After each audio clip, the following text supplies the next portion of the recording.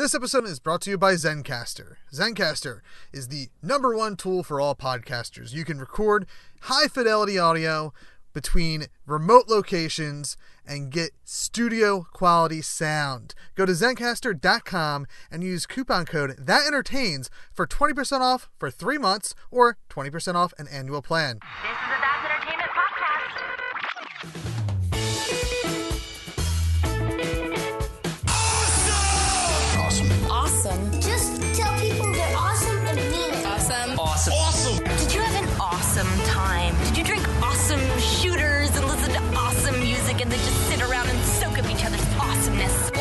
Awesome. Awesome. Awesome. that was awesome. You guys are awesome. No, you're awesome. You are awesome. Sir, you are awesome. Seriously. Awesome. Awesome. Awesome. Everything is awesome.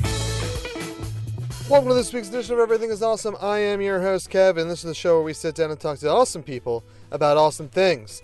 Uh, before we get to this week's guest, I just want to give you guys a little preview of what we got coming up in September. This is a new thing I'm trying uh, because I've been recording so far and ahead. I want to give you guys uh, a teaser of the next couple weeks. We have from Temple of Geek, Daniel Slade. Uh, we have the author of the 90 Day House, Kenzie Bonds. We have Roshni, a yoga instructor from India, and true crime podcaster Lee Purchase from the Slim Turkey podcast. They're all coming up in the month of September. Also coming in September is going to be my research uh, of Party of One. We're going to be launching after Party of One, uh, a after talk show that we're going to do on a monthly basis. It's going to be the first Monday of every month. So our first one debuts on October 1st, where we're going to sit down with Jeff Stormer and one other guest. Jeff won't be there every month, but my for the first episode, Jeff's going to be on. We're going to talk about his uh, uh, month of podcasting September and about all the stories and whatnot. But this week we have Liz Anderson, a comedian from Chicago. She runs the monthly The One Woman No Show and is going to be a cast member on the next season of Campaign from the One Shot Network and is also going to be on the upcoming family friendly actual play podcast, Autonomic from Kat Kuhl. Uh, super, super excited to see those projects come to life. Liz was a great person to sit down and talk to. I've been a fan of her work since discovering her through the One Shot Network on her uh, guest appearances on the both campaign season one, the Star Wars story, and the random appearances she's done on One Shot podcast. Uh, and I'm really kind of stoked to see what Kat is doing with Autonomic and this family friendly version of actual play that Liz is going to be part of. You can find Liz on Twitter at Liz Anderson underscore underscore underscore. That's right, at Liz Anderson underscore underscore underscore is where you find Liz on Twitter. Uh, I am super excited. This was such a great conversation. It took us a while to book it. Um, and, and and then of course the you know I had uh, internet issues the day that we were recording, so um, what you guys heard took took a long time for me to edit to make sound good. So I hope you sit down and appreciate this conversation between Liz and I right here on Everything Is Awesome on AwesomePodcast.com and ThatEntertains.com slash network. Quickly, kind of uh, go over who you are, and then we'll we'll talk about you and all the co- cool things you do. What a heady idea. um, so my name is Liz Anderson. I'm mainly a uh, Chicago-based uh, comedian, writer, actor, kind of the whole thing. Um, I do a, a lot of improv and sketch comedy. I have um, I'm a contributor for the Onion for Onion Sports and for Onion Features. Um, I and men the most people on my twitter feed would know me from all the guesting that i do on the one shot network for uh, a lot of rpg actual play stuff um and yeah that's kind of it It- it's hard to explain who you are when you don't really have a job. Well, and that's something that I and I don't know if it's recently. I'm gonna I'm saying recently, but uh, I, I I guess within the last year, I think I noticed because I started following you on Twitter myself because of the the one shot stuff, and and that's what led me to finally asking you to be on the show. But you recently like don't have a a day job like myself and do the like the the freelance writing and, and comedy stuff, correct? yeah it's been uh the transition I was lucky in the first few months uh, to land uh, a couple of like really good gigs that helped me bridge the gap between having a full time corporate job at a major university versus just going freelance full time. Uh, and that, but those came to a close as the projects came to a close. And now I'm really living the actual freelance life where you have to develop your own client base and invoice things and be responsible for like contracted work and that it's only just now becoming more difficult which is uh it's fine and it's a it's a good learning experience. This just needs to give me i need to give myself a little kick in the pants to making it an actual workable career instead of just a summer vacation Yeah, I, I feel like the like the dream of being the freelance, no one ever thinks about like the downside of paying bills and uh all the work to like have work. yeah it I- thankfully there are a lot of great resources for writing freelancers and even like uh, i don't know what it's like in other industries but like great community organizations and um, especially like anyone who has a position with like an agency is more than willing to say hey uh, they're they need people need writers here willing to share share the wealth. Um but that's something that i'm kind of used to is treating yourself like a business and that means like not doing the fun thing and that m- making sure that you know what your time is worth and you're setting your own time limits and working on the things you need to but also like learning when to not work and like have i done the equivalent of a full week's work right now? Should i be taking a break or should i just work the whole the whole week and never stop? Um because i also have like a couple part-time jobs like in the actual physical world so it it's an interesting exercise in learning both what you're worth and also how to take care of yourself. Yeah, I I uh I think that's why like I have never taken that plunge is that like that that all that responsibility to to be uh, an adult. And I, I I when I have kids I have two kids so like now well yeah. the the fear to take that that plunge uh but when you have a family to support is even higher. So the i i like i love when i see people like you and and, and james when he went full time with uh one shot like it, it's like it, i'm happy that all these great people can do it and and like it's a I know. I know there's some other creators out there that get really jealous over the fact that other people have like I guess the, the fortune to to be able to do that. But I always look I know, I'm Mr. Positive and I kind of look at it as like uh man, I'm just happy for these like talented people that are like getting the time to do what they love. Yeah. That's also never a one to one. You I've always told people like who want to do the like jump full hog into their art. I tell them like wait a little bit, make sure you have a lot of savings and you don't need to like quit everything all at once and then just be an artist living on your own in 2 weeks later. You can like I know that's what kind of James did. Like he started doing like one day off a week, and he thankfully had an employer that would allow him to do that.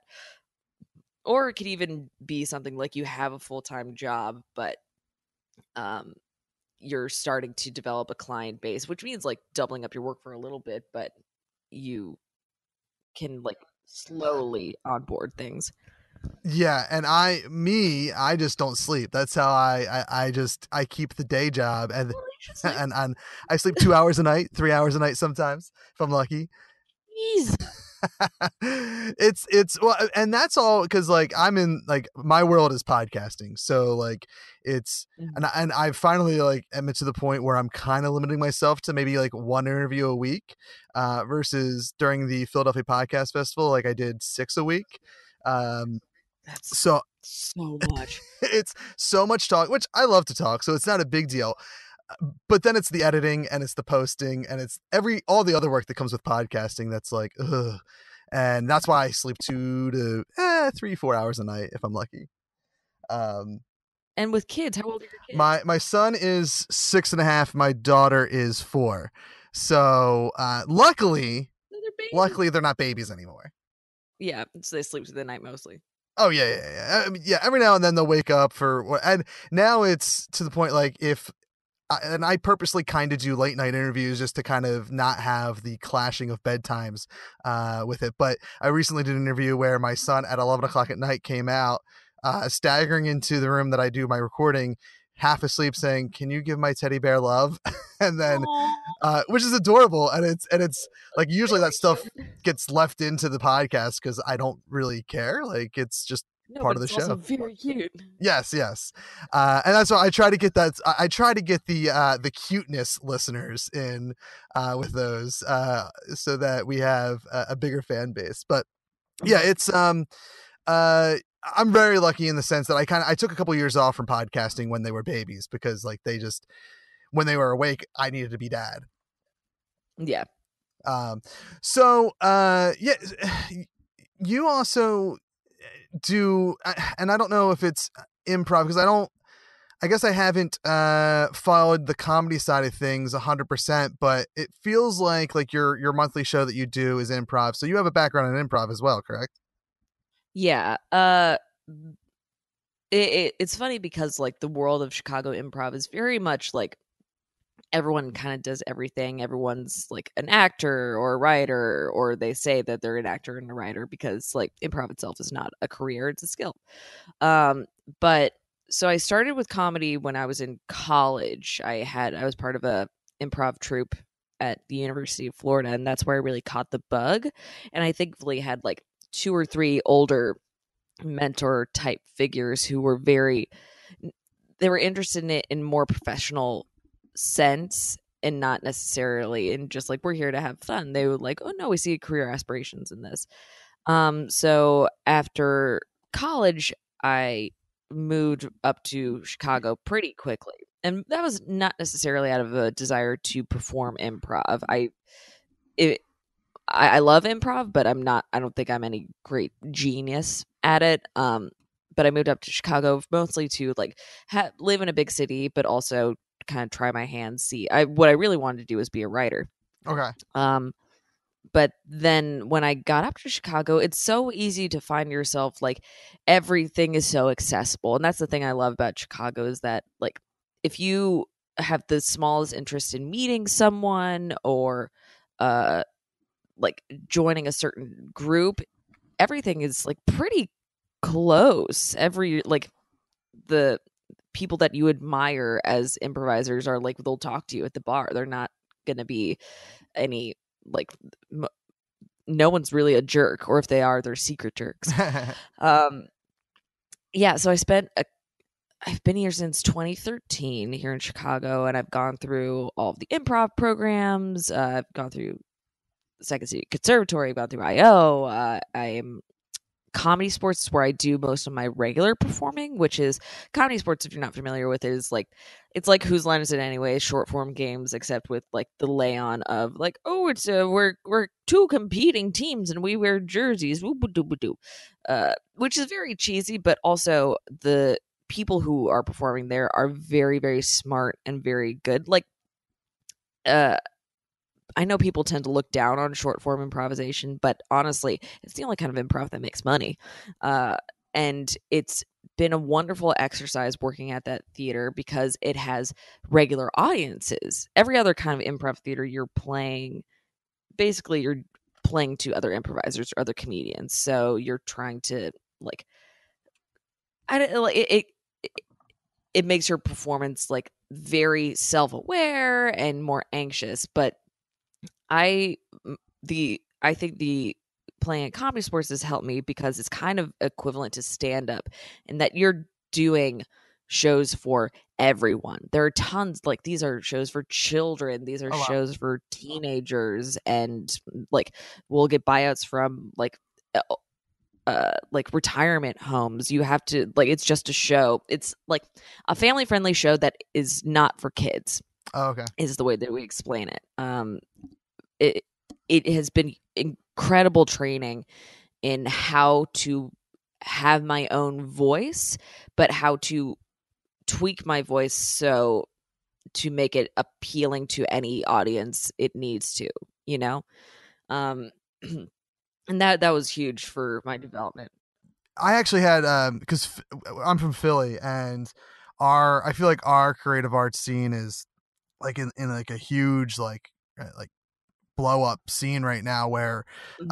uh we ha- like we've had a couple like bigger improv groups go out to I think like the big um Chicago festival out there and whatnot and I actually have a friend who uh is currently out I think at IO Chicago uh doing some um intensive uh classes and whatnot and Yep, it's the intensive, right? Yeah, yeah. uh, and it's it, it's improv is so, like it's something that I I'm like so interested in that I, just need to pull the trigger and it's I I think it's right now what's holding me back uh, from taking some classes in, in Philly is like oh man I'm gonna be that weird like 34 year old in a classroom full of 20 year olds and uh Oh, you'd be surprised.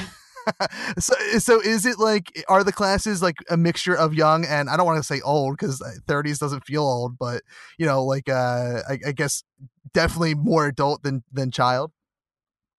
You'd be surprised, honestly. It really depends on when Mm. and where. Like the the thing about improv is now it's kind of a hip thing in the corporate world. Oh wow. Um, yeah.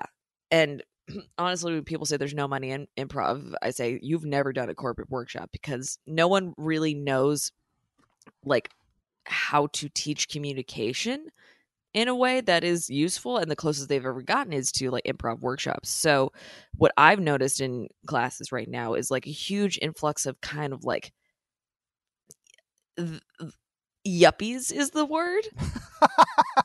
okay, yeah. Uh and like like a huge range of ages because it's a lot of uh, like people are coming around to it to improve communication skills really. Uh in chicago i think we're kind of leaning more towards like the 20 somethings because like chicago is like 20 somethings will come here to to train. Um but in like cities cities like philly and i bet in in boston i think the ratio is a lot more like equivalent to regular population because you're going to get a wide range of experience frankly and people who just want to learn how to be on stage and not cry that kind of thing yeah, that's uh not crying not wanting to cry on stage is something that I've dealt with for cuz cuz my stage performance is only like live podcasting. uh, So it's not like I Yeah. do any kind of actual acting or anything, but for you know, our first live show I ever did for a podcast was like uh, almost 11 years ago and then took a long Mm. time off until about 2016 when we've been doing you know like 3 to to 6 shows a year and every single time even though I've probably done now 12 to 18 shows I still have the pre-show jitters where I'm like, Jesus Christ, I'm gonna bomb, I'm gonna be awful, uh, and I do want to cry. it's it's uh, it's an awful experience. The good news is that it never goes away. Um yeah it it's interesting but the thing about like improv is like it, it sounds cheesy but it is true. It does help you in like the real world. It helps me so much with job interviews because like i pretend like i'm just playing a character and helping you like respond to conversation and be like uh like uh, very intuitive in learning what your uh, interviewer wants to hear or wants to say or wants you to stay you to say. It uh like i recommend it to anyone and i think that anyone can do improv. What anyone can't do is do improv that's entertaining Yeah, you know, it's it's uh, whenever I talk to uh, people who have done improv or studied improv, it's kind of like the the common thread of it. Literally, is a field that may you know at face value be for comedy, but helps you in in everything. Like I talked to uh, wrestlers, a couple wrestlers, and and they have taken improv classes to help them on the mic or just help them in the ring or whatever. And um, and, and it's it is it's it's something that I think is especially when you're doing a live performance, even you know, especially in a podcast where all you're doing is having random talking. It's something that I definitely, I personally have been threatening to do for three years, and and probably will hopefully do uh, within the next twelve months. But um, yeah, I, I, it's it's an and a lot of my favorite performers now that I've been like focusing on podcasting and kind of like dabbling in at least like the knowledge of improv for the last couple of years, all have that background. Like, you know, one shot with James Mhm. and, and you on, on campaign and the other podcast that I've uh that well let's talk about that. So you now so so what was your first experience with with podcasting? Was it was it the One Shot Network? Um, with me being on podcasts, probably yeah. Well, like the thing that I like to say is that every performer in Chicago either has a burlesque troupe or a podcast. So you could just walk down the street and guest on someone's podcast. Um, I think One Shot is the first podcast I did that had like a Okay. built-in audience already. So that was a different experience. Um, the I have had never played RPGs prior to doing my first one one shot episode. And frankly I still don't. The I've I don't think I've ever done a role playing game like not on mic. I don't think I don't I don't think that's ever happened. Um but the just over the past year my evolution into the like the one shot role playing space has been huge. Um and i'm pretty sure that has a lot to do with like knowing james and kat as friends and also like they what i think that they do in comparison to other actual plays is that all of their performers are actual performers. And i think that's the main difference and i think the main uh, market appeal for them. Um and so like i'm very happy to be on these projects but now i find myself like oh yeah i'm on like 10 projects Well, and I and I have I've seen those like uh like the teases for those projects, uh, where Yeah. uh, obviously the, there's an evolution going on with campaign that you're part of, and and Kat starting uh something up. Is, can you talk about either of those projects? i think so especially since i think kat sort of rolled out the announcement so kat's new project is going to be more geared towards um kids and like kids we mean like preteens. Um it's more of a family friendly rpg experience that are mainly trying to get kids interested in uh in the the genre. Um campaign is going to be uh much more it's still similar to what old campaign used to be we're still playing in the Genesys system. We're still playing like with a, a party of four. Um or actually yeah actually it's one more. Um but overall it's like it's not star wars anymore and it's not any uh existing ip we're creating the the ip so that'll be interesting to see. Um because i know that a lot of campaigns followership had to do with like the the world. So um yeah it'll it'll be interesting. So i've done recordings for camp we've started recordings for campaign. Um we're in the middle of uh, kat's in like the middle of setting up the like the world book for her project so that we haven't started recording that yet but it'll be interesting. But it's just like two years ago i had never never played a role-playing game and now i'm spending like legitimately 12 hours a week Well, and and that's um and I think I've seen you say it on Twitter and and I, you said it kind of at the beginning where like a lot of people that follow you are from that world. Uh uh like for, like Mhm. from campaign and, and and that's where they know you from and that's um that's obviously where I picked you up from and you are when like every guest spot you've done on any of those shows has been always like an hilarious experience uh otherwise I wouldn't want to talk to you mostly screaming uh definitely screaming but yeah, you, and, and your characters are like I, I like, and I don't, I forget which one it was, but a lot of t- like the characters have like that. Um, I picture in my head Kate uh, McKinnon from Saturday Night Live. Um, it is it has that like I don't know that tone. I- It just reminds me of her. Mhm. yeah that's what i like to do i like to uh i don't like being useful i like being like the the side character or the the annoying pipsqueak who can like chime in a lot i if if there's ever like a DM that's trying to make me the protagonist, I am actively trying to sabotage it because like I don't want to be. I don't want to be the protagonist. The protagonist has to like know things and do things.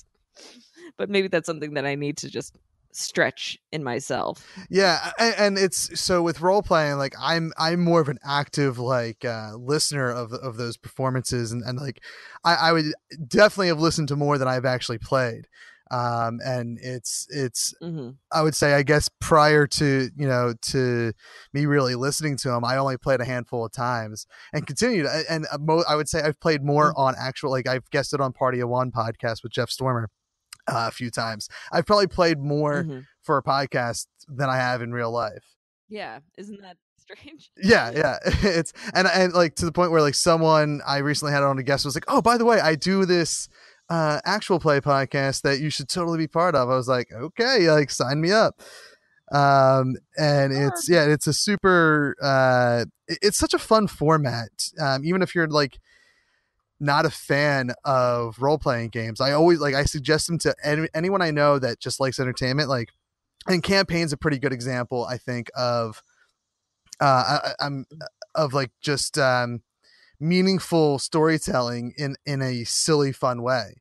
Uh and uh, Yeah, I was uh, I was a guest oddly enough on a podcast that is also called Everything is Awesome, uh, but it's not my show. and Huh.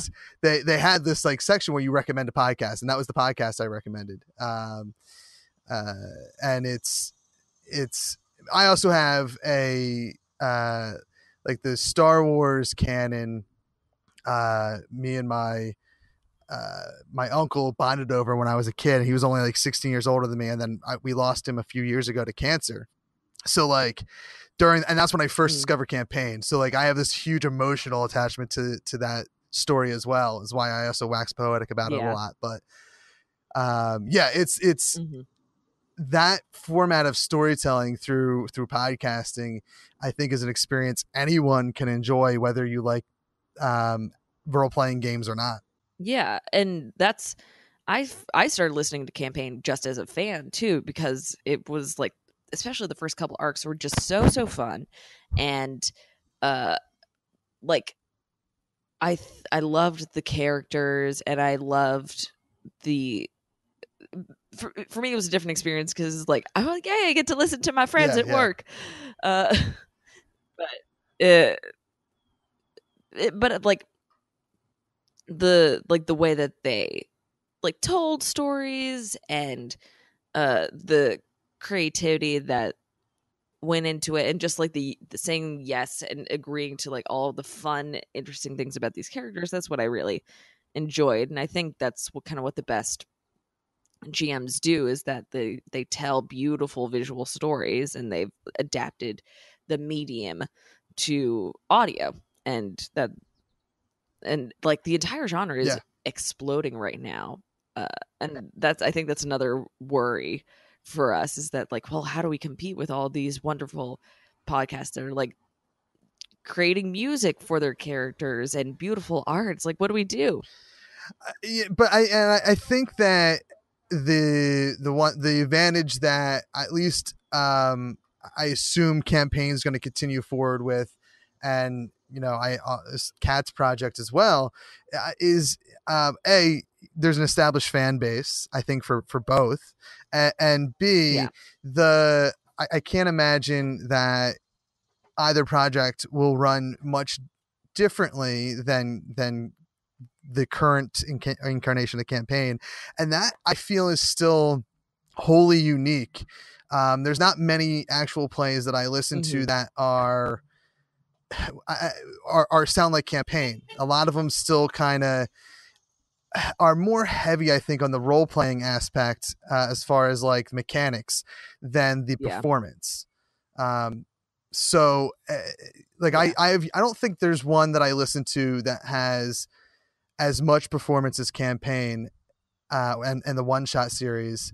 Um and i listen to i, I I listen to quite a Yeah. like a handful of them i love them all but but that's what's unique i think Mhm. with what you guys have going on yeah and and i totally agree with i, I think that's definitely what sets those podcasts per, apart Yeah. is RPG as performance with a focus on that. And it like the one or two times that I've guested where there's the one of the other guests is someone who like plays RPGs just casually. The difference between the way like me and Steve Kropa approach it is so different because we're like trying to like move as fast as we can and develop characters and jokes and bits as fast as we can versus like the actual Yeah, game and of I- it. like I'm I don't know about yeah but and i think that's um i, I don't know that, that's that's a, a good i think thing that you guys have going and i'm su- like it's it's weird uh being in this place of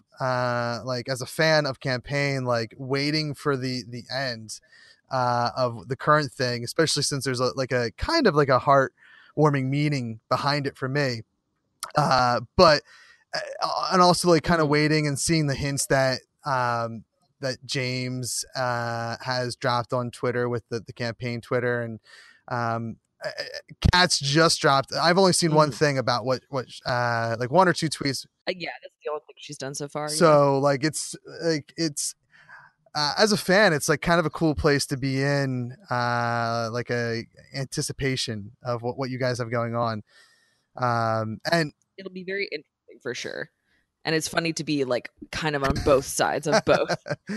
well and, and but these are like now both projects uh, or at least campaign i i, I assume um is like going to be first full-time podcast performance for you correct yes. Yeah. The I've only ever done like the one offs with one shot. yeah um so that's exciting like as i mean i assume it is exciting as a performer to kind of have a, a, a regular gig Yeah, absolutely. And like a I don't want to put a put a pin on it, but they're paid gigs, which is like what? Oh, well, that's even better. Like that's such a rare thing. I think, you know, at least from the podcasting side of the world, I can say that's such a rare thing. Oh yeah. It's it's very rare and also like for this?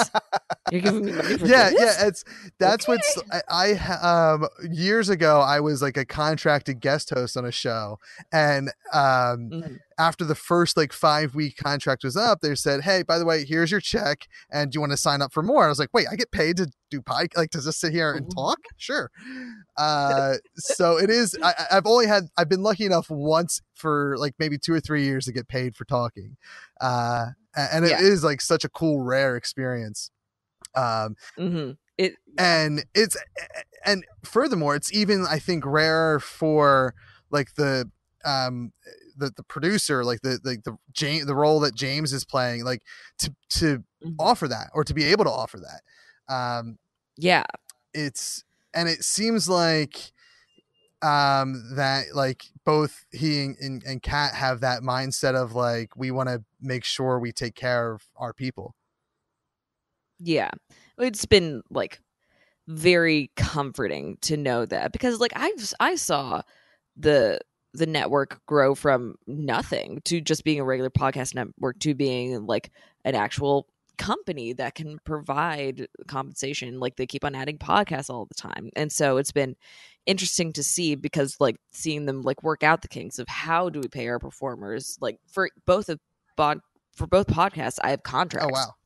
They have assigned like professional contracts with like with compensation and how compensation will grow as much as if if, if and when the patreon grows and uh like who owns the characters. And yeah it's all very professional because it Yeah. needs to be because there's a lot of like investment in it and a lot of like fan investment and actual fan money tied up in it so that's it kind of needs to be. And I- yeah, I, I just I, I it's whenever I uh like look at how I I'm moving forward to do my own things like consistently one shot and I'm sure w- once Kat has more information about what she's doing like all that stuff like they're they're the things that I look at as like inspiration like all right how are they running things because like I really like Mm. what they're doing as a company and also as people Yeah.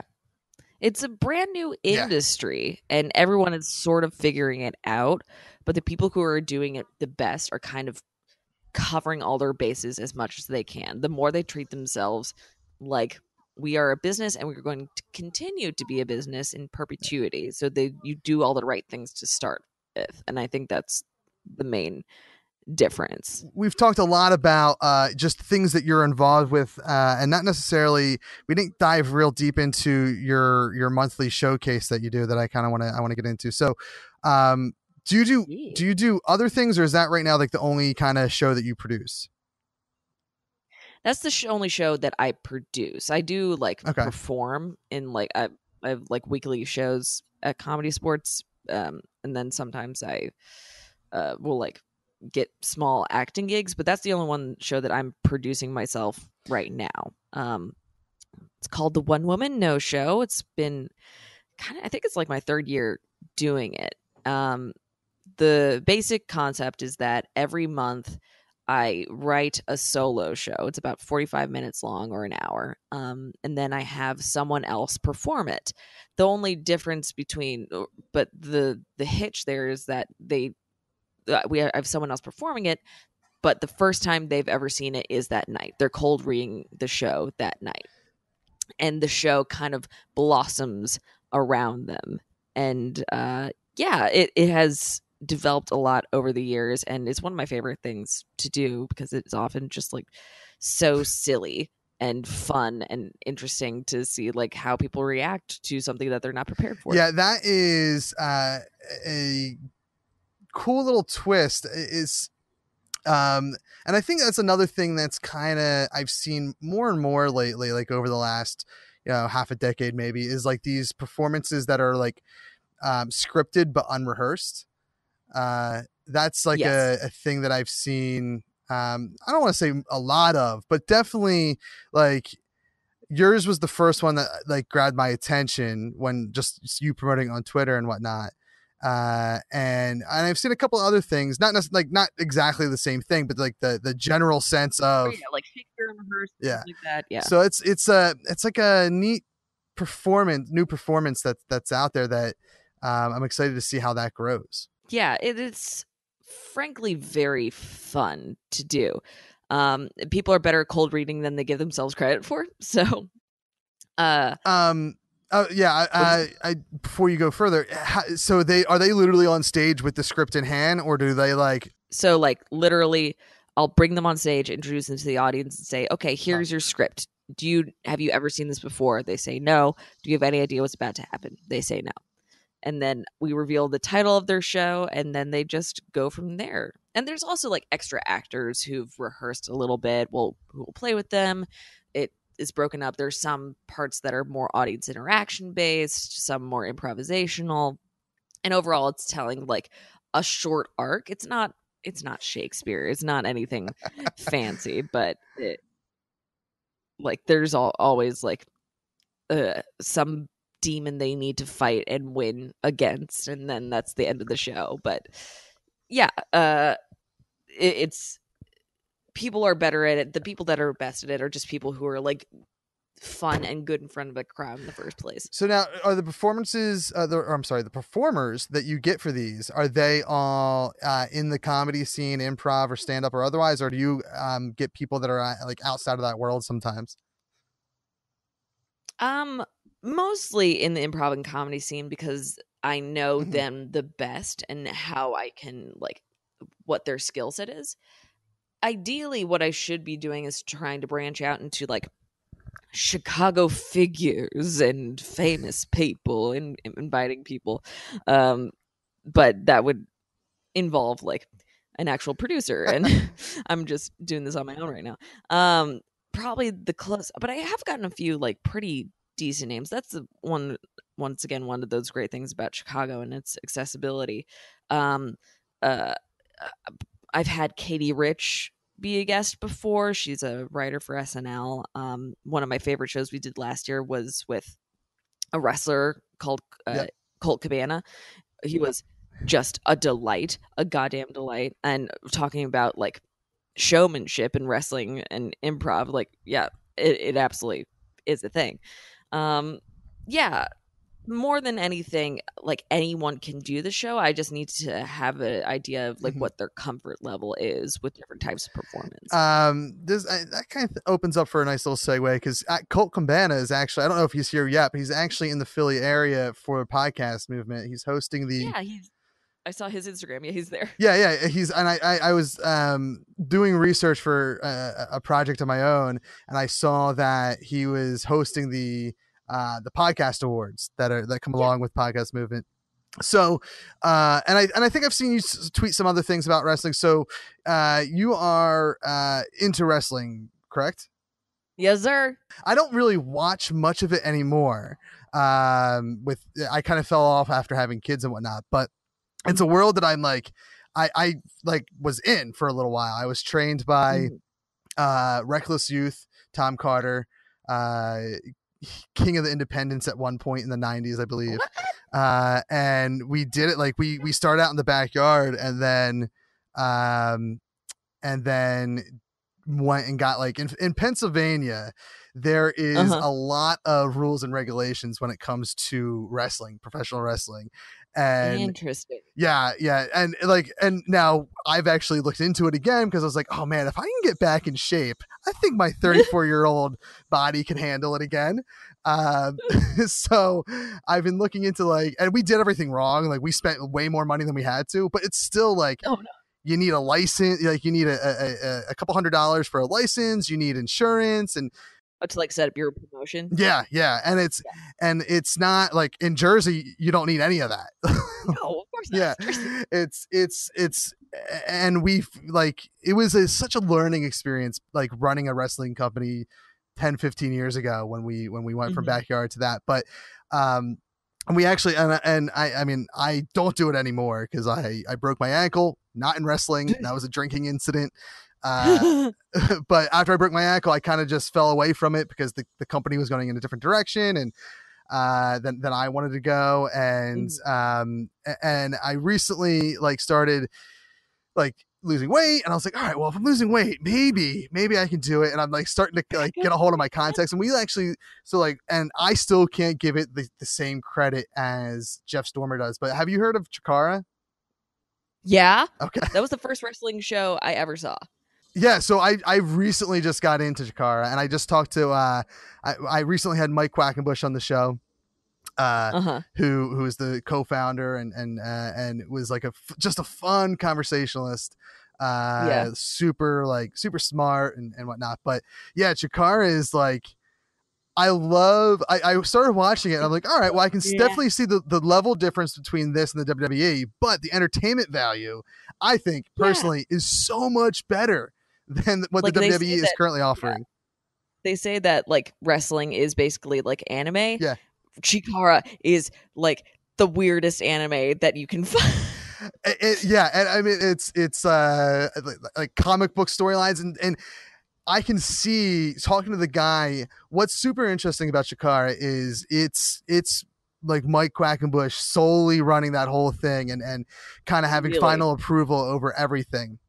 And he is a big like I mean obviously as most adults do they they fall off comic books but he has strong roots in comic books. yes, yes, and um i mean you, you can definitely see it like just even if i've only watched maybe like one or two shows I, like i'm still like i recently signed up for Mm. their online thing and i'm going through like their back catalog.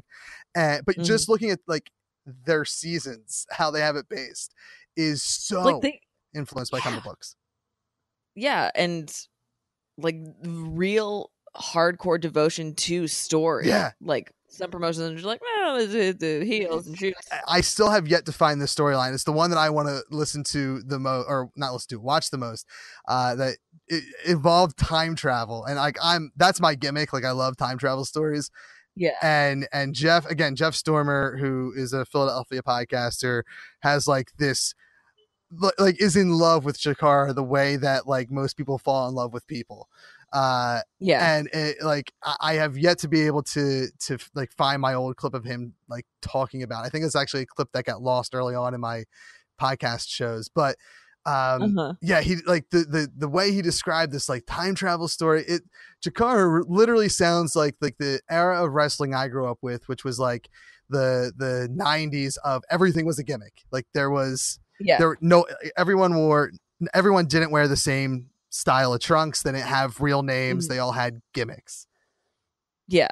Uh, Uh, yeah the i think the during the show that i saw like me not knowing anything about any of the storylines it had um both it had space monkey which of course is the the an actual monkey uh who wrestles uh and then like this huge huge tag like 12 on 12 tag team oh, that ended with I don't I forget his name like the the like the mantis or something like that uh being rolled out in a wheelchair and something inspired and then him just rising up out of his wheelchair and pointing to someone in the ring and everyone screaming because of it. It's like I don't know what this is.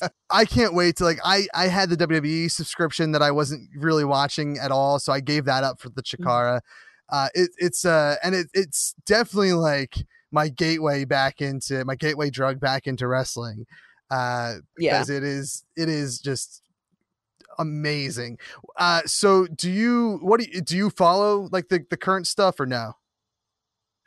Um yes. I only got into wrestling like two e- Oh, two three okay. years ago. Um so like my POV is very like skewed and it only happened because my roommate is a huge huge wrestling fan. Uh and pretty much anyone who's ever lived with him has just uh, touchstonily become wrestling fans because it's always on and that's how they get you gosh because it is a soap opera and you follow it's your stories and you find yourself invested in things. And it's also like one of the coolest things about wrestling is finding out who else knows wrestling. So if you like drop a reference and all of a sudden you you see someone at the uh, end of the bar like perk up a little bit be like Ooh? and you? Yes me. Both of us? Yes. Uh yeah so the, i i was able i started following like it's funny because like i started following wrestling when daniel bryan retired Oh, okay. and then now he's back so it's all kind of come full circle to me. Um but yeah and so being in chicago is very easy to get caught up in the indie scene too because there's so many promotions that run in and out of here all the time.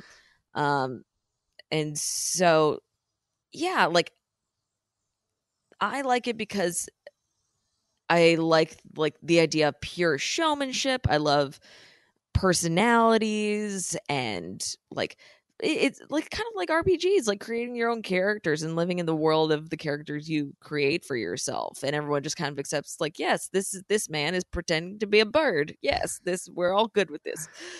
Uh, and yeah, it like WWE has its or like wrestling in general has its issues. I I I feel very strongly about like promoting wrestler safety and like the way that women are treated, but it's kind of like frankly, wrestling is evolving faster than people give it credit for, I think. Yeah, I mean, uh, uh, just from a standpoint of being like, I was definitely, I grew up a fan, you know, as a like as a preteen slash teenager.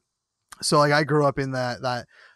I don't really remember much from the late '80s, but like the late '80s, early '90s kind of stuff. And but back Uh-huh. then, it was like it was a secret. You didn't tell people in school you watched wrestling, uh, otherwise you would Uh-uh. get made fun of. and um, I, I remember like kind of as I was um, exiting high school, it kind of, and that was 02. So like in 2002 is kind of when I think it started to evolve beyond just like a small kind of group of people. Um, Mhm. and where it was kind of getting cool to, to be a fan of wrestling, kind of like it was kind of cool to be a fan of, uh, Star Wars and comic books. Like Yeah. that just like Counterculture in- as I exited my and, and started going to it being an adult is when it was okay to let people know you did that. And but I remember being like sitting in a like in an English class and like same thing that you you described just a few minutes ago where someone said something. I was like, "Yo, do you watch?" And like you had to be under your breath. You had to say, "Do you watch wrestling?"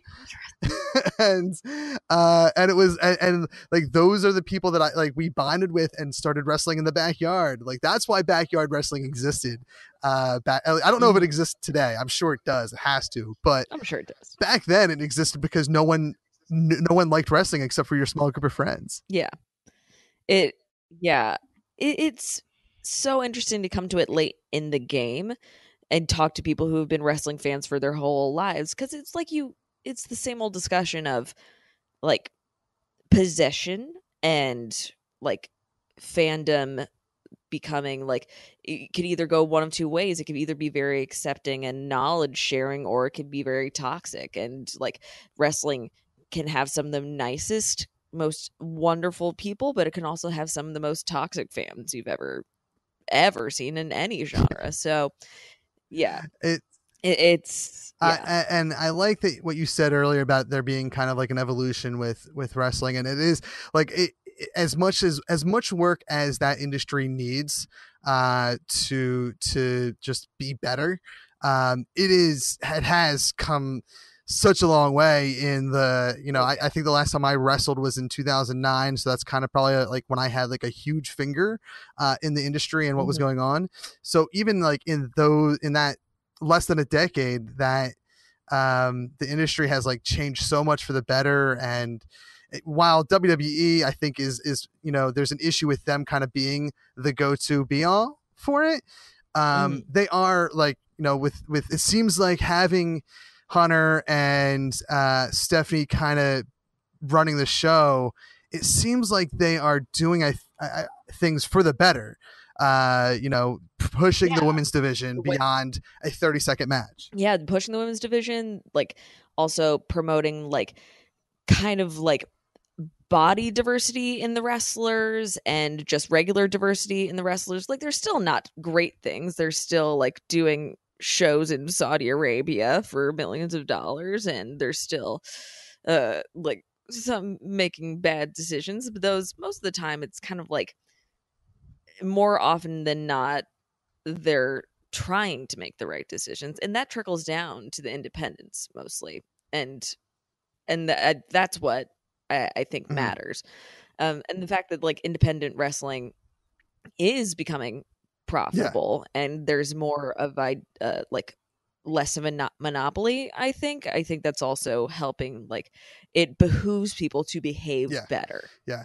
And it is neat seeing the the independent scene go through like another boom. It had like a you know probably 20 years ago had a nice little boom but now i think it's had its biggest boom that it's ever had and it- it's weird because living in the philly area i it, and nothing has really changed because philly is a big wrestling town and uh it, it's always kind of been here like it's never like the independent scene never left here like it like it had maybe other uh other towns but seeing how like like cody rhodes for instance can go out and literally make more money than he was in the wwe um Yeah. it's great making so much money. Uh, like all in in Chicago in September is going to be huge. Like we've got tickets to it. It's going to be enormous. It's like a huge independent wrestling promotion that sold out a ten thousand seat theater. yeah it's gonna be yeah, it's gonna be and, incredible. and and when I like that news obviously came across probably my Twitter feed or something, and and seeing that come across and seeing that like they were able to sell that out uh, is incredible. Gosh.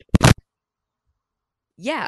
So it's like the and then there's the question of like is it more popular because it is kind of less safe? Are they taking care of their people, especially with like recent like Takahashi recently get, getting his neck broken by like it, it's the same old like punk rock aesthetic like we still need to take care of our people but i think overall it's uh, the rising tide lifts all boats one yeah, would hope Yeah.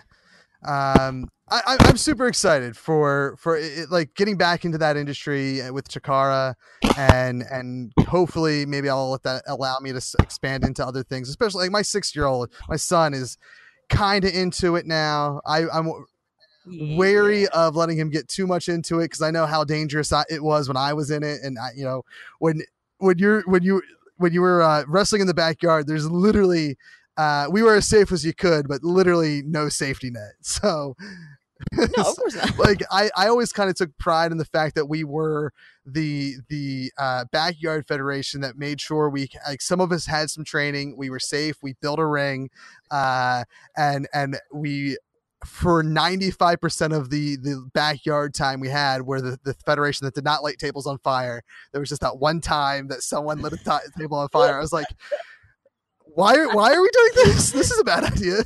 Uh It was just the one, the one time, But- you know.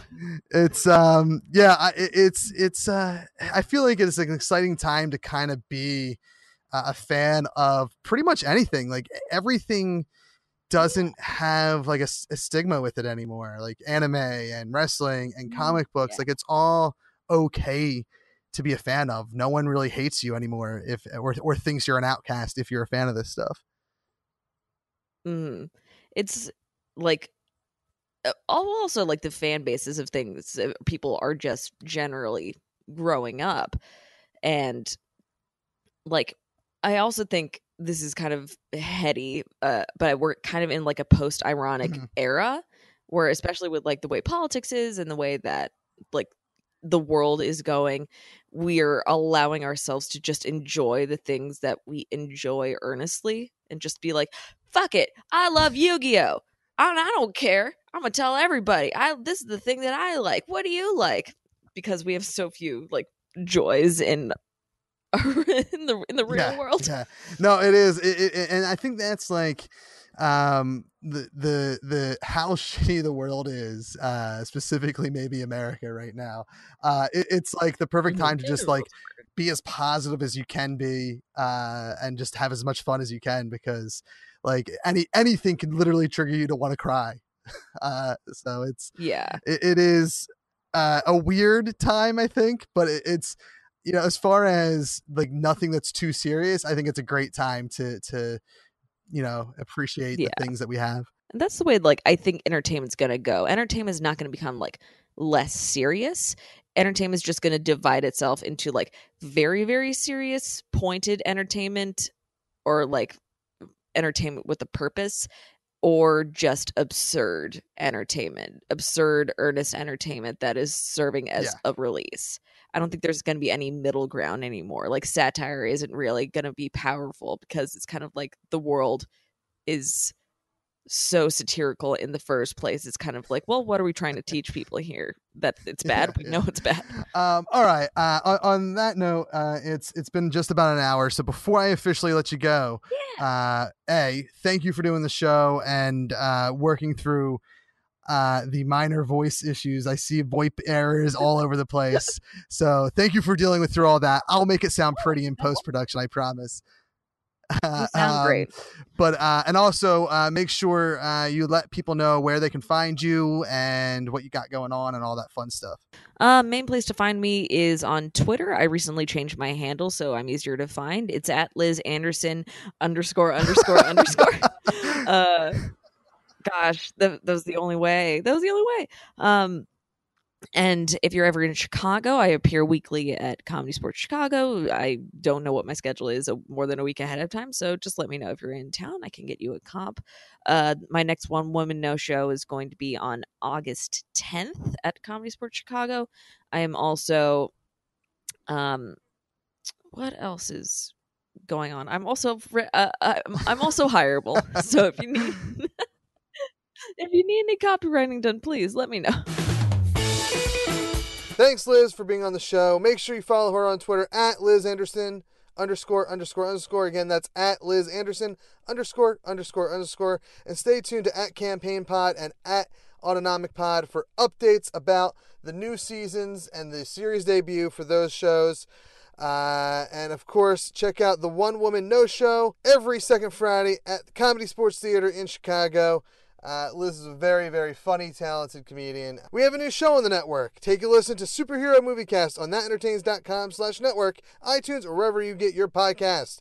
Superhero Moviecast follows host Thomas Olson and guests reviewing and analyzing inspiring themes from superhero movies. We like to end everything is awesome with a call to action. Super friends, there are a lot of terrible things happening right now, and it can feel like you can't do anything to help, but you can. It takes people like us to make a difference, and one of the easiest and most important ways to take action is to call your representatives about issues that are important to you. Brett Kavanaugh is bad for women's rights. It is clear that he is an opponent of reproductive rights, especially access to abortion care and birth control. In 2015, he authored a dissenting opinion in the D.C. Circuit's ruling of the Affordable Care Act's birth control benefit, writing that he believed employers have the right to deny employees health insurance coverage for birth control. Birth control is a right, abortion care is a right for all women. Uh, it, it's just basic human. They have every say over their body. He is also bad for voting rights. There's strong evidence that if confirmed, Supreme Court nominee Brett Kavanaugh will do his best to weaken and dilute voting rights. In 2011, South Carolina passed a voter ID law, which the Obama administration blocked after determining it could disenfranchise tens of thousands of minority voters who are more likely than whites not to have IDs.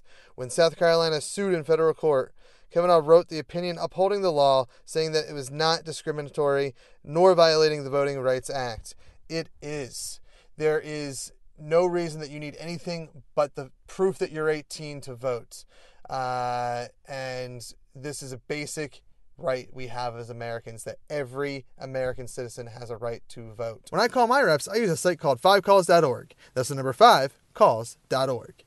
There, you'll find issue summaries of issues that are important to you, contact info for your representatives, and a script to read while you're on the phone to make sure your message gets across. Calling is quick, easy, and is one of the most important ways to have your voice heard. It can make a tremendous difference. Let your voice be heard. Thank you to our supporters on patreon.com slash that entertains. If you want to support us in a non-monetary way, word of mouth recommendations and five-star rating reviews on iTunes are the best way to spread the good word of awesome. You can find us on at Real Awesome Pod on Facebook.com and Twitter. You can also find us on Instagram at Awesome Podcast, and we're available on awesomepodcast.com and of course thatentertains.com slash network. You can get more news about this show at awesomepodcast.com and thatentertains.com but also on my personal Twitter at that nerdy kev is where I do a lot of things. If you're interested in ad rates, live appearances, help with your podcast, or have a question or comment, email us at awesome at crudehumorstudios.com. Everything is Awesome is a production of That Entertains Podcast Network in association with Crude Humor Studios. Crude Humor Studios is a Philadelphia based production company specializing in audio. You can find more information at crudehumorstudios.com. Thanks for listening, super friends. We've been awesome. That's Entertainment Podcast Network. Entertainment and culture. Artist owned, fan supported.